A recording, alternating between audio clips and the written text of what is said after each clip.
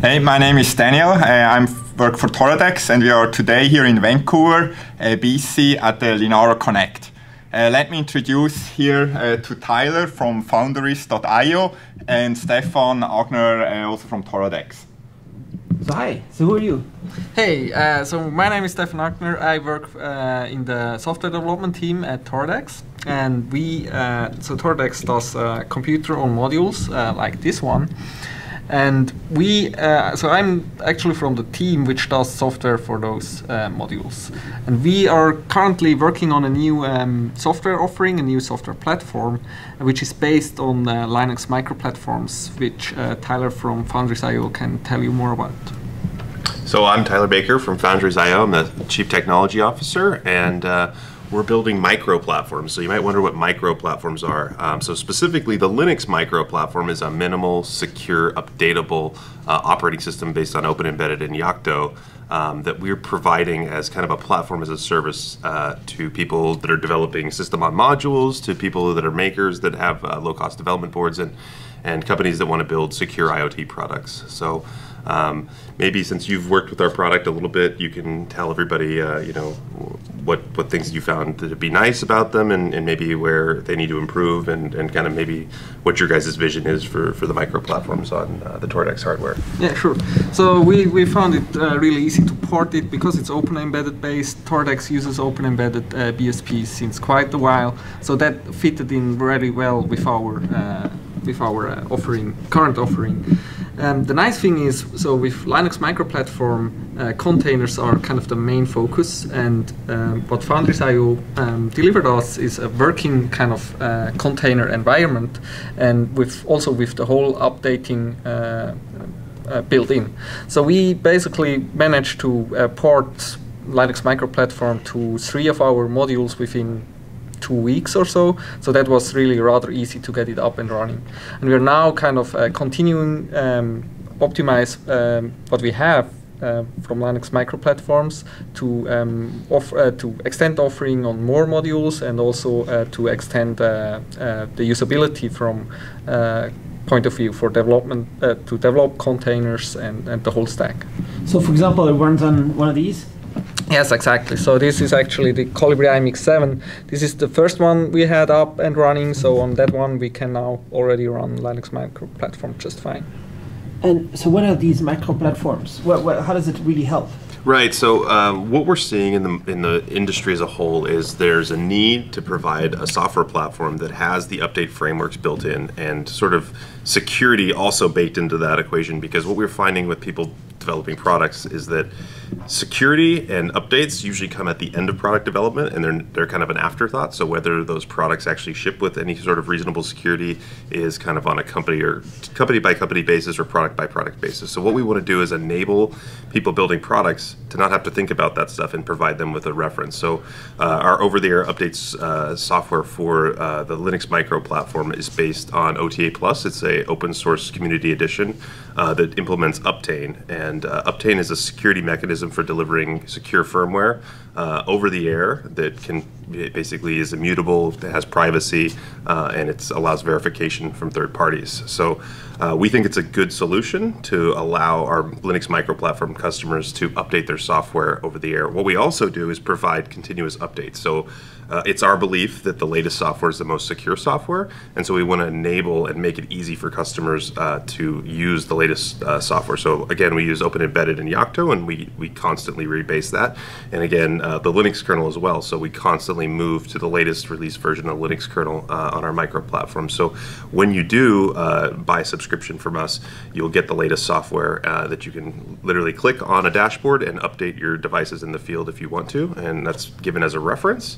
Also provide uh, every bit of software is open source, so you can reproduce the entire stack, Linux micro platform, and any cloud parts that you may have uh, that we may provide as a reference, uh, you know, at your own um, office or your own lab or, or, wherever you need to do it, or you can even give it out to customers and, and have them deploy it. So everything's open. There's no vendor lock-in, um, and that's kind of what we're going with, for with the Linux micro platform. So a micro platform sounds like a small little. Uh, is not a lot of data to transfer, or is it? Because like, IoT doesn't want to have so much data, right? Sometimes. Well, I mean, I think that's what IoT is. It's all about the data. Uh, but like Stefan said, was you know, it's just a Docker runtime. So what we're trying to do is modularize the boundaries between um, the base operating system and the application. Typically, when you build embedded systems, you bundle that all together, and so it's hard to update, or there's there's dependencies that need to be shared between multiple applications, and there's no level of isolation. So the idea is update the base operating system independently of the containers, and even with the containers, they can be updated independently. So what this allows you to achieve is that if you can update just the piece of software that you need to, whether that's the base operating system or the applications running on the device, and do it in a seamless way.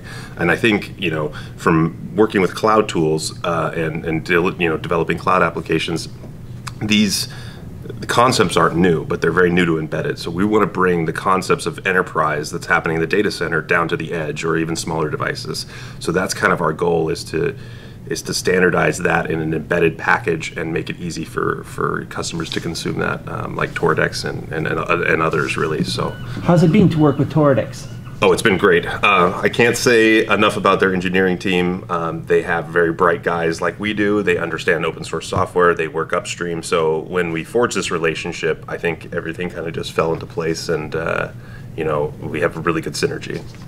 So what do you think right now? Uh, yeah, we are very happy to work with them, and we are really gonna extend now on that. That's basically our base, and then we add additional value on top. So really focusing on the ease of use. So we have still a lot of people from the Microsoft ecosystem. So we will provide a container tooling. Uh, integration with Visual Studio and other Microsoft technology like .NET, so people can easily migrate from, from Windows or from Windows CE to this platform.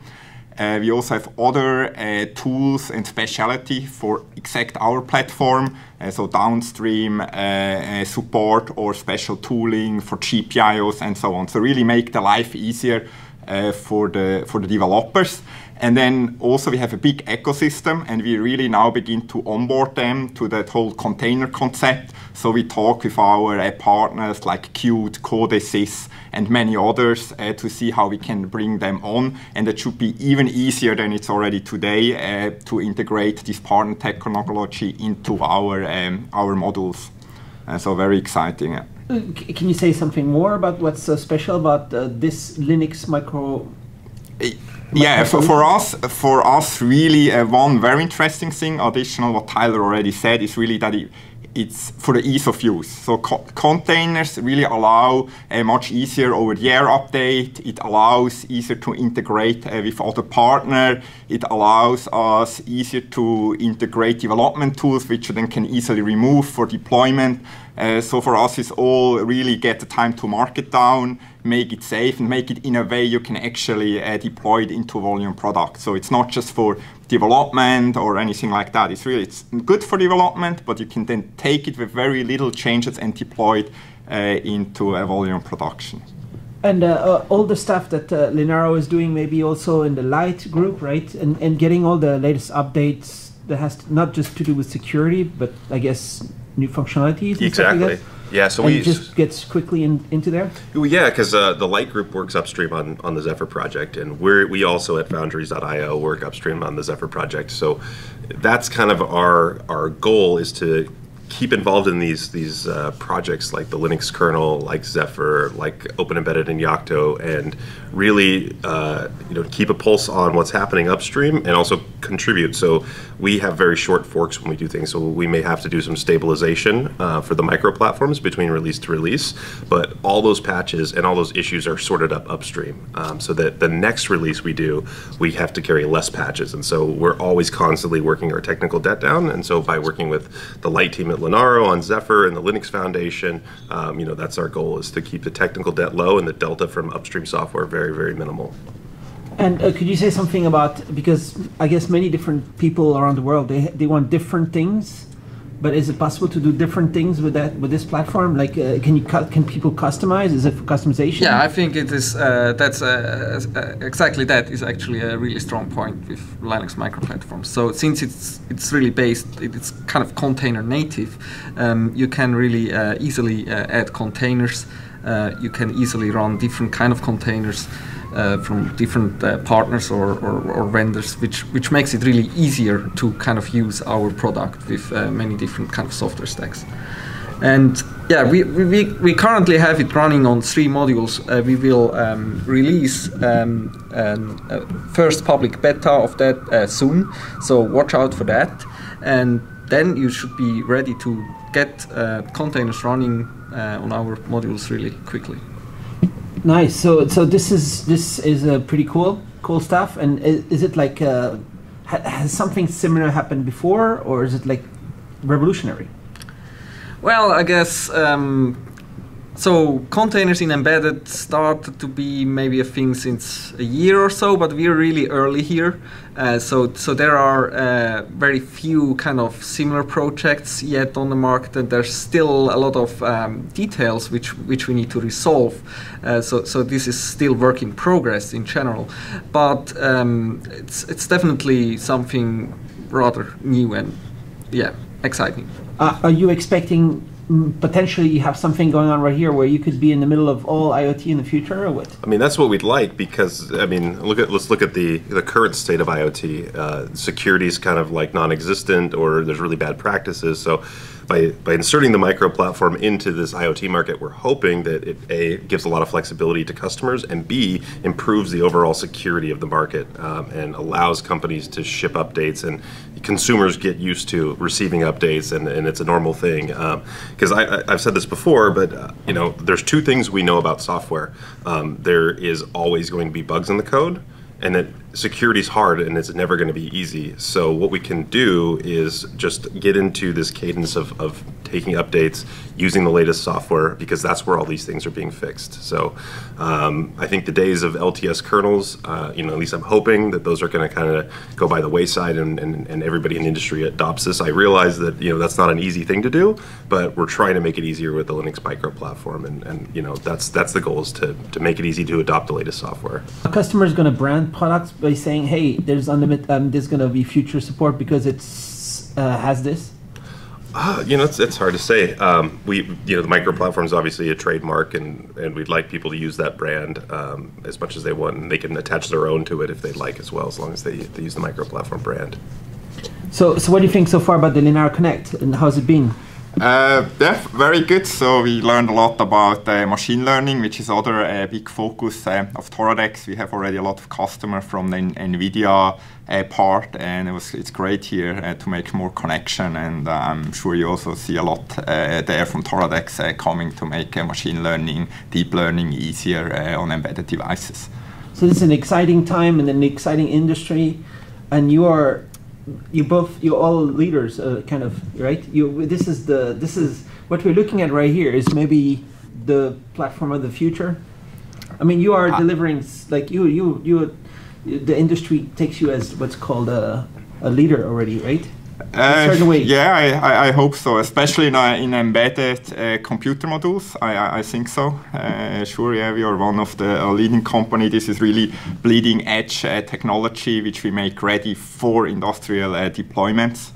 Uh, so yeah, very very exciting. Yeah. for the long tail of uh, sm- many customized projects uh, that that's what it is right? Exactly. So we are really we are really good in uh, in small to medium volume. So if you have 500 pieces, thousands, 10,000, then it's great. I mean, there is other companies. If you want to deploy 200,000 uh, pieces a year, that's not really our focus. Uh, but if you're in thousand, ten thousands, then uh, then Toradex is really your partner, uh, and there we're really, uh, really, really the leader. Yeah.